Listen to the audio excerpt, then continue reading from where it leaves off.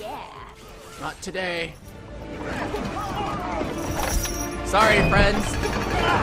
You'll remember this day as the time you almost caught Captain Jack Sparrow.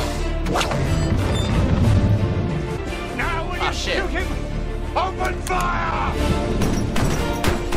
What the fuck? What is this obstacle course?